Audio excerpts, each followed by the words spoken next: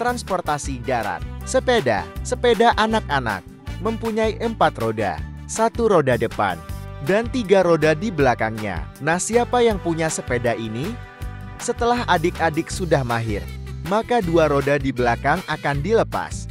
Bersepeda yang aman, pakailah helm sepeda untuk melindungi bagian kepala. Ketika terjatuh dari sepeda, adik-adik yang sedang belajar bersepeda, tetap semangat ya. Motor atau sepeda motor, motor dijalankan dengan mesin. Anak-anak tidak diizinkan mengendarai motor kecuali diantar oleh anggota keluarga. Demi keselamatan dan keamanan pakailah helm anak-anak. Adik-adik harus berpegangan yang benar ya. Mobil Mobil adalah transportasi roda empat. Mobil bisa memuat lebih dari dua orang. Mengantar adik-adik ke sekolah atau jalan-jalan. Nah yang duduk di dalamnya. Jangan lupa pakai sabuk pengaman ya. Kereta. Siapa yang suka naik transportasi ini? Ya, ini namanya kereta api. Kereta api berjalan di atas rel dan setiap orang yang ingin naik harus beli tiket dulu ya. Bus, bus lebih besar dari mobil. Naik bus juga menggunakan tiket. Bus memuat banyak penumpang. Mau keluar kota? Bus bisa mengantar. Bus sekolah.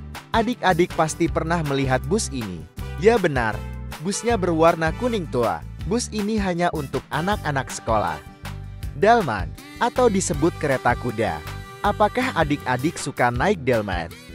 Jangan takut, kudanya sudah jinak. Becak motor, ada juga yang menyebutnya becak mesin. Becak ini banyak terdapat di Pulau Sumatera. Angkot, pasti adik-adik pernah naik transportasi ini bersama ibu saat ke sekolah atau ke pasar. Transportasi udara, pesawat, pesawat terbang di udara dengan mesin dan bantuan sayapnya untuk mengendalikan arah pesawat dan sebagai komponen pengangkat beban. Di lain kesempatan, kakak jelaskan lebih banyak ya adik-adik. Helikopter Helikopter terbang di udara. Helikopter mempunyai baling-baling putar. Baling-baling yang berputar dengan kencang. Mengangkat helikopter naik ke atas. Helikopter tidak bisa membawa penumpang yang banyak. Transportasi air. Perahu. Perahu lebih kecil dari kapal laut. Perahu hanya memuat sedikit penumpang. Biasanya menyeberangi sungai. Dan untuk mengangkut barang, perahu juga dipakai para nelayan untuk menangkap ikan. Kapal laut Apakah adik-adik pernah naik kapal laut? Kapal laut lebih besar dari perahu, bisa memuat banyak penumpang untuk rekreasi atau liburan. Namun, kapal juga dapat dipakai untuk mengangkut barang dalam jumlah sangat besar. Nah, adik-adik semua, transportasi apa yang sudah pernah atau yang paling disukai? Tentu semuanya digunakan sesuai dengan keperluan ya. Terima kasih sudah menonton.